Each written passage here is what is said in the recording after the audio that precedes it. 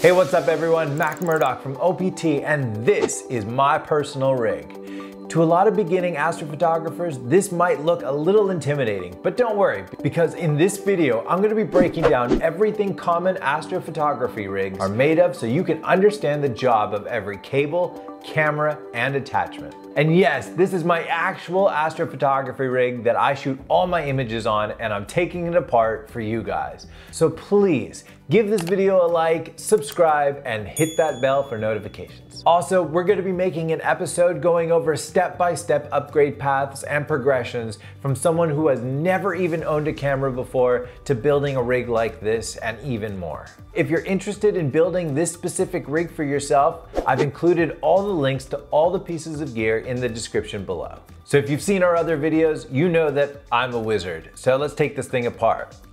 Iggity bobbity boo!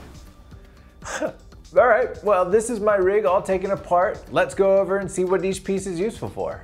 So first we have two cameras on this rig. The first one is my main imaging camera, the ASI 2600mm Pro, and this little guy is the ASI 120mm Mini, which is a great inexpensive camera. The ASI 2600, in my opinion, is one of the top five best cameras on the market and for many reasons. We made a video explaining all the reasons why that you can click on right here. But a general overview of this camera is that it's very sensitive to light, it records 91% of the light that hits the sensor, and it's got a pretty big APS-C size sensor with very small pixels, allowing you to get the fine details in your image and a much bigger field of view than you normally would with a micro four thirds size sensor. On the other hand, the ASI 120 has a tiny sensor, but it also doesn't need to have a giant sensor considering its only function is to pick one star, lock onto it, and when it moves a pixel, sends that data to the mount so it can correct itself. Guide cameras don't need to be extraordinary high-tech cameras since you're not really imaging with it. Here we have a filter wheel a ZWO 36mm 7 position with all my filters nicely installed inside. These filters help me photograph both broadband targets like galaxies and narrowband targets like nebulas. I'm using a monochrome camera, so I need a filter wheel to be able to produce the color images. Inside my filter wheel, I have 36 millimeter unmounted chroma filters. From position one to seven, we have luminance, red, blue, green, hydrogen alpha, sulfur 2, and oxygen 3. The 7 position gives me the ability to have all the broadband LRGB filters and the HAS2O3 narrowband filters, which is pretty much all that I need. Make sure that when you're buying filters and a filter wheel that you get the right size filters for your specific sensor, or else you're gonna have major vignetting. If you have a full frame camera, you're gonna want 2 inch filters or bigger. Then over here, this big red box is the PrimaLuce Eagle. This is the brain of the rig. At some point, I was tired of being tethered to my telescope with a big computer and a bunch of cables running everywhere, so I invested into the PrimaLuce Eagle 3.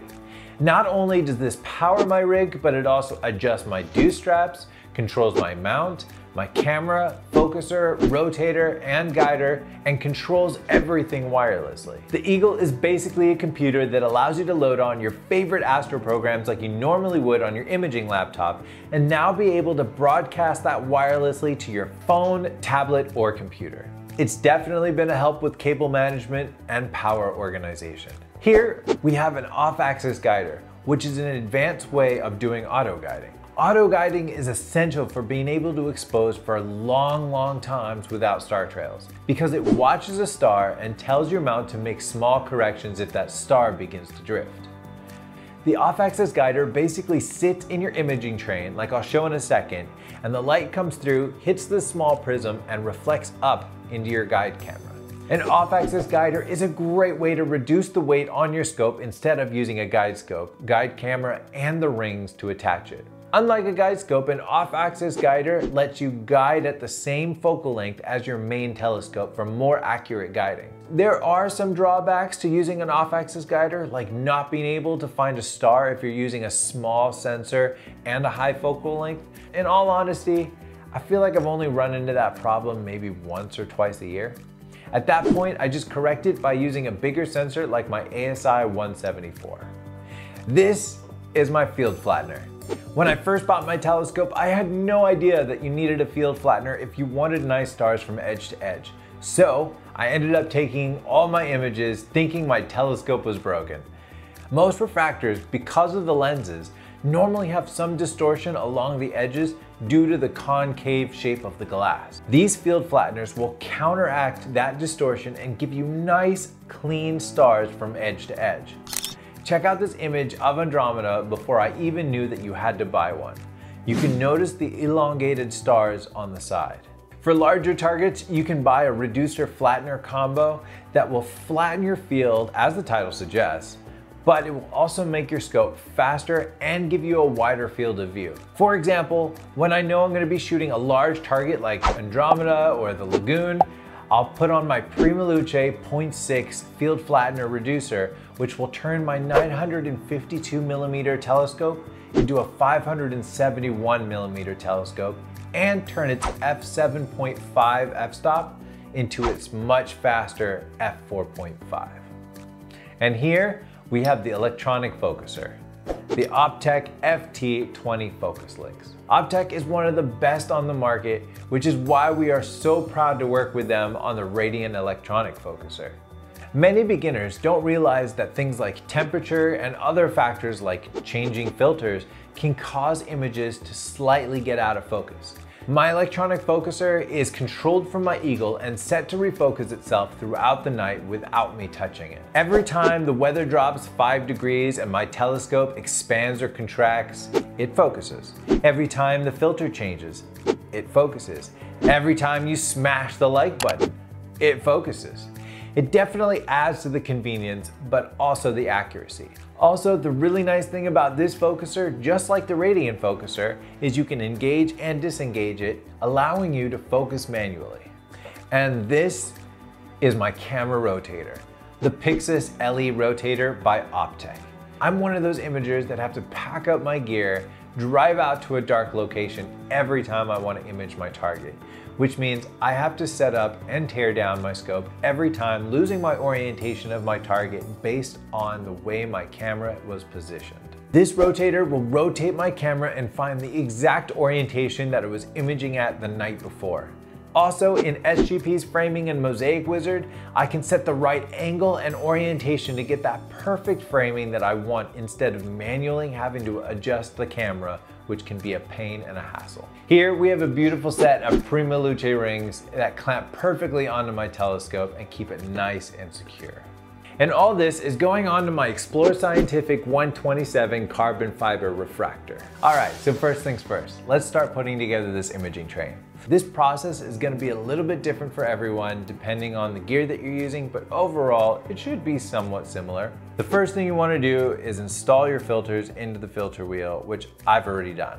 For more quality types of filters like chromas, the direction of the filters don't really matter due to its coatings. But the less expensive kinds, you're gonna wanna point the reflective side towards the telescope and away from the camera. If you still can't tell, there's sometimes an arrow on the rim of the filter that points to which side should be facing the telescope. Next, two things that you're gonna need is your camera and your filter wheel. Some filter wheels you can screw onto the camera just using bolts, but for this one, I'm just gonna use an adapter and just gonna screw it on just like this. Next comes the off-axis guider, which can take some work and fiddling around with, but once you set it up correctly, it's good and you don't need to do it again for a while. So first, I wanna thread on this off-axis guider adapter. And next, you wanna put on the guider. You wanna make sure that your prism is flush with your sensor and not at some weird angle. Also, you might need to move this column up and down so that it's close enough to the sensor to grab some light without blocking the sensor. Next, you wanna add your guide camera. Make note of which way the sensor is facing so that you can line it up nicely with your imaging sensor. And next, we're gonna attach our field flatter. And finally, let's attach our rotator. Now that the imaging section is done, let's put this aside for right now. So now that we put everything aside, let's focus on putting the eagle onto the rings. So first we're gonna open up the rings and place the eagle underneath. And now that it's tight in there, we close the rings and turn it right side up. And now it's time to put the telescope in. Next, we need to install the focuser. We do that by removing the original knobs that are on here and by putting the electronic focuser over and then tightening this down. Easy peasy lemon squeezy. And now it's time to slide our imaging train into our telescope and plug everything in.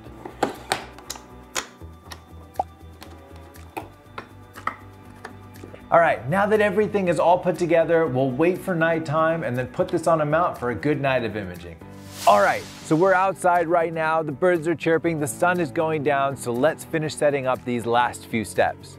First, place the tripod legs on a stable surface and then screw in the tripod spreader. This will improve the sturdiness. Then attach the mount using the screw at the bottom. We can now attach the counterweight, which is really important for accurate tracking along with the safety of not smashing your scope. After you set up your telescope a few times, you should get a good idea of where your counterweight should be on the counterweight shaft. If you want to learn some of the reasons why balancing is so important and learn the correct method on how to balance your telescope, click the link right over here. Now that the counterweights are on first, attach your telescope by sliding it in and locking it down. Let's attach the PoleMaster, which is a camera designed to help you polar align super easy in under five minutes. If you want to learn our step-by-step -step tutorial on how to use the PoleMaster, then click right over here. Finally, the last few steps is to give everything power. I personally use this giant, obnoxious, heavy car battery, which will last for a good amount of time, but I do suggest something more lightweight and Astro-related like a Celestron power tank. Now with my one cord that hangs down, I plug it into the adapter and everything is set up, powered, and ready to go. And just like that, you're done. You've gone from having a bunch of parts, gadgets, and gizmos to a fully set up astrophotography rig ready to take some amazing images. Setups like this don't have to look so intimidating with all of its parts. Once you learn the different pieces and what to do, it becomes just a matter of figuring out what's compatible and then attaching it onto your rig and building it up piece by piece at a time. Anyways, that about wraps up this video. If you've enjoyed this content, learned something fun, or want to give some appreciation for taking this whole thing apart and putting it back together, please consider hitting that like button and subscribing for more fun tutorials. If you have any suggestions on videos that you would like to see in the future, please leave them down below in the comments. As always, my name is Mack Murdoc here with OPT, and thanks for watching. Clear skies.